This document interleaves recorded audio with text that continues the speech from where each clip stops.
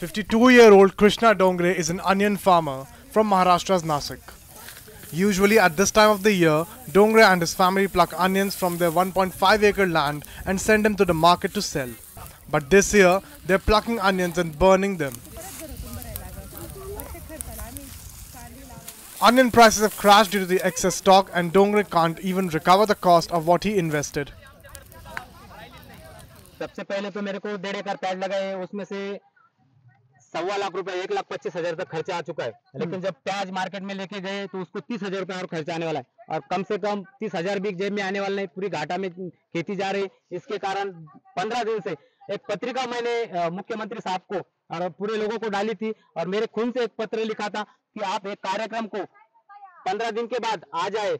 लेकिन किसी प्रकार से किसी प्रकार से सरकार की ओर से कुछ भी सहानुभूति नहीं दिखाई गई और आज ये काला दिन महाराष्ट्र के लिए और देश के लिए निकल गया। Many farmers like Krishna Dongre take loans every year but they fail to repay them because they don't get a good rate for their produce to produce 100 quintal of onions on 1 acre land Krishna spent approximately 70000 rupees But to sell those onions, he had to bear a further cost of 25,000 to 30,000 rupees.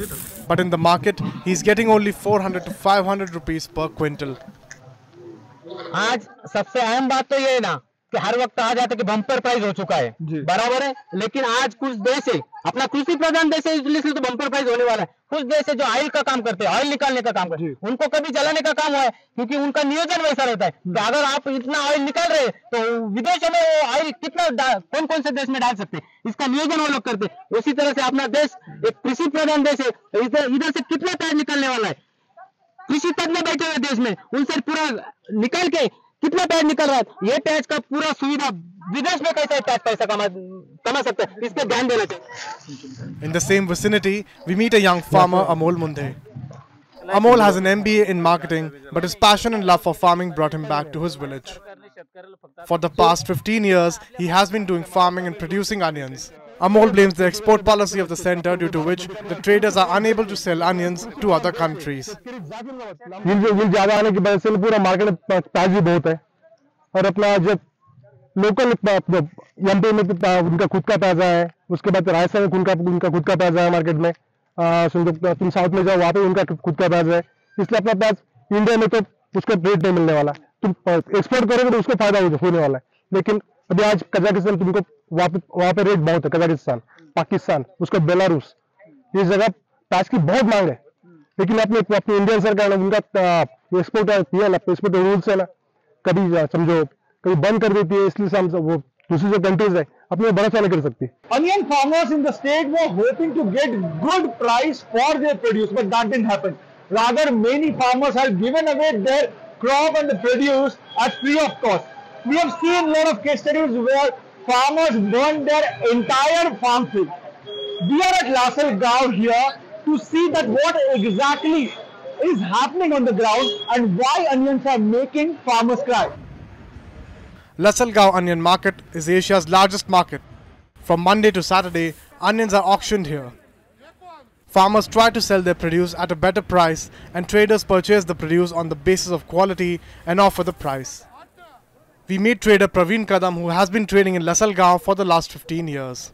According to Praveen, the demand for onions has gone down due to the increased production, and hence it is affecting prices of onions. But transportation also plays a major role in determining the prices.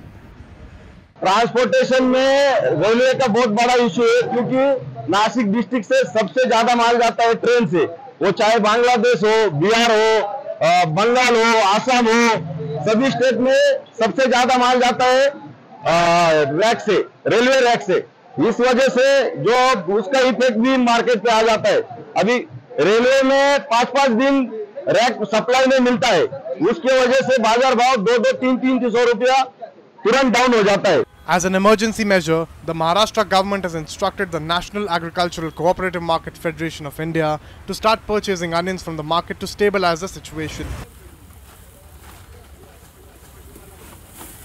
But according to traders, NAFED Center is not doing purchases.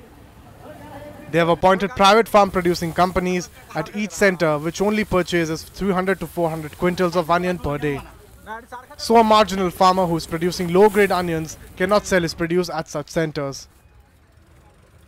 As per the law of demand and supply, the high yield of onions have resulted getting the low rate not only in Indian markets but also in Asian markets. In such scenario, farmer wants that the government should intervene and they should give them MSP or a subsidy which will help them in future. But if this doesn't happen, then certainly in future we may see many Krishna Dungri doing the same. This is Mayuresh Ganpati reporting from Nashik for Network 18.